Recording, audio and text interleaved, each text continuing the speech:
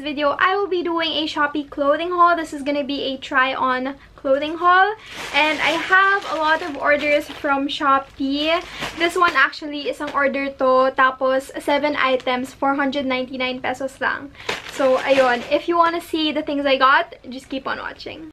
So, papakita ko na sa inyo to. Ito yung 7 items, tapos 499 pesos lang yung binayad ko. This is 7 clothing items. Um, free shipping kasi siya. So, dapat plus 45 pesos but free shipping. So, 499 pesos for 7 items. Paulit-ulit. Pero, ayan. Let us see what we have here. So, yung shop pala na to is called abubot underscore ph. So, ililink ko na lang below yung each item. And one comment about this shop is that I ordered 7 items and only one item ata yung tamang kulay. Pero they did warn me naman. And nakita ko rin naman sa mga comments and reviews na parating ganun sila yung hindi tamang colors yung binibigay nila. So, ayun. Before they ship it to you, they actually say it, but they don't ask you. And they actually say na mag-comment ka kung anong gusto mo other than the color kasi mabilis sila maubusan ng stock. So, ayun. I'm gonna tell you kung ano yung original color na binili ko and ano yung kulay na binigay nila sa akin. So, first top is this one.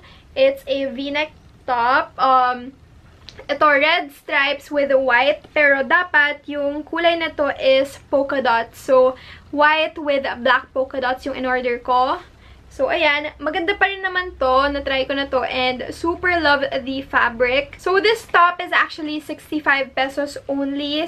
Kahit hindi nila nabigay yung kulay na gusto ko, nagustuhan ko pa din yung top na to. There's only one top na hindi ko actually nagustuhan. Pero papakita ko yun sa inyo later. By the way, this top is called the Andy Overlap Top Crop Top. So, again, ililink ko na lang down below. And then, itong top naman na to, ito lang ata yung top na tama yung kulay yung binigay nila. Kasi sabi ko, white floral yung gusto ko. So, ayan, this is a tube top and this is called Smocked tube crop top. Again, link down below. Maganda din yung fit, na maganda yung fabric. It's similar to the Andy top. It's like a cotton fabric. I don't know kung tama yung fabric na sinasabi ko. Pero, um, maganda yung fabric niya. Malambot siya. And, super sulit. This is actually 99 pesos. Ito yung pinaka-mahal na binili ko from them. I really love this. It's stretchy. So, maganda yung material niya. And, feeling ko comfortable to suotin. So, ayan really like that. So, next one is the only bottoms I got. So, gantong shorts lang siya. Yung original color na binili ko is black.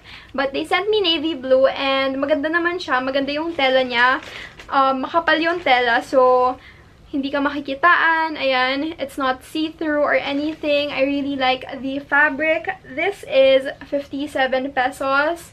It has a rainbow detail at the side. Tapos, garterized din siya. So, kahit free size, okay lang. So, lahat pala to free size and they fit me naman. So, ayan.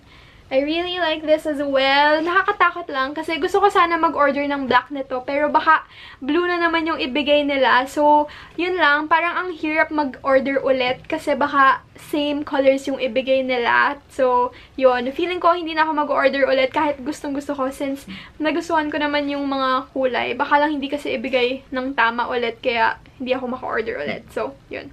Parang paulit-ulit yung sinasabi ko. Pero, yan. Sayang sana. Maganda sana yung shop. Pero, ang hirap lang bumili doon kasi baka ma-repeat yung order mo. This one pala is called Track Rainbow Varsity Shorts. So, ayan. Next top is one of my favorites. I think, um, ito yung favorite top ko out of everything I got. I don't know. Basta, sobrang ganda nito. And, again, maling kulay yung binigay nila. And, actually, iba siya dun sa shop. So, it looks like this.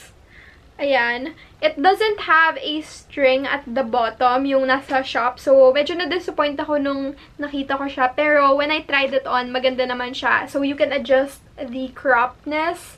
So, pwede mo siya i-cinch in para maging more cropped or i-cinch out para um, less crop siya. So, ayan. Uh, medyo sheer siya, pero um, maganda pa din. Malambot yung tela niya. Um, it's maroon yung nakuha ko. Pero yung original order ko ata is white or black. Yeah, no. So, yung original order ko pala is black, pero they gave me maroon. And this is called the Scarlet Front Garter Top. Yung Scarlet Top naman is 99 pesos but I bought it for 65 pesos kasi on sale sila. Next one, another one na ibang kulay. Lahat nga ibang kulay. Ang kulit ko, lahat nga ibang kulay yung binigay except this top na to. So, ito, Um, I ordered black, but they gave me army green, and I tried it on. Maganda rin siya. Ang ganda ng fit, and gusto ko pa bumili ng black na ganito. Gustong gusto ko yung black na ganito. Pero baka ibang kulay na naman yung ibigay nila. This one, original price, 120, pero on sale siya for 65 pesos. This is called the Alexa Scoop Neck Tank Crop Top. So, ayan. Ang ganda ng fit, and I really want other colors. But we shall see if bibili pa ako. Next is a dress I bought. This one I also bought in black and white, but they gave me yellow. Sobrang iba ng kulay, ba diba? Pero ayan, ang ganda ng fit nito. Sobrang lambot. Same yung fabric katulad ng iba. Malambot yung fabric. I really like it. Uh, maganda rin yung fit. This one naman, this dress is called the Celine Gingham Mini Dress. And maganda to if I put a white shirt underneath or kahit by itself lang, maganda yung fit nito. And this one, I bought for 75 pesos. Original price was 150 pesos. Last top, um, ito lang yung black na nakuha ko. Pero ang funny kasi navy blue yung in-order ko. So, kung ano pa yung black, yun pa yung hindi ko in-order ng black. So, ito rin yung least favorite ko. Um, kasi medyo masikip to sa akin, lalo na sa arms. Ang liit ng armholes niya. So, baka ibigay ko na lang to sa sister ko kasi hindi talaga makagalaw yung arms ko. Pero, maganda yung fit niya sa body ko. Ayan lang siya. This is called the Button Crop Top Cotton Knit. And this is 73 pesos. So, ayan. Maganda sana siya, pero um, masikip siya sa akin. So, yun lang yung nakuha ko sa Abobot PH. Um, lahat yon 499 pesos lang, free shipping. They did message me na ito yung mga kulay na pinalitan namin, pero sana they asked me if okay lang ba. Kasi I think na-ship na siya nung sinabihan ako na yun yung mga kulay, pero um, yun. Mag-comment na lang kayo ng backup colors if you want. But, yeah, feeling ko hindi na ako mag-order kasi baka nga maulit lang yung mga binigay nila or maybe I can message them na sana hindi po gantong kulay kasi meron na ako from the previous order. Next thing I ordered is Privé styling tapes. So, ito lang siya. I also bought this in Shopee. I think I bought this for 110 pesos. So, ito yung, ano ba tawag dito? Ito yung waterproof Privé nipple tapes. Five pairs. And, yeah, ang dami kasing YouTubers na nag-rave about this brand ng nipple tape. So, I wanted to try since a lot of these um, parang kailangan nipple tapes yung gamitin mo instead of normal bras. I got the flower nude one. Um, I still need to see if maganda siya, if talagang sticky siya. Meron yung mas mura sa Shopee na mas madami din. Pero kasi someone said na sobrang stick niya na parang nag-peel off yung skin niya. So, natakot ako bilhin. I just bought dun sa brand na pinapag-usapan ng mga YouTubers. So, ayan. Yung Privé nipple tapes nila. Next thing, ito nakita ko sa video ni Ate Erica Lim. So, ililink ko yung Shopee haul niya. And this is a bra. This is a Mumu Korean Fashion Cute Removable Bra. It is a ano to, strapless bra. Well, yeah. It looks like this. I got the black one.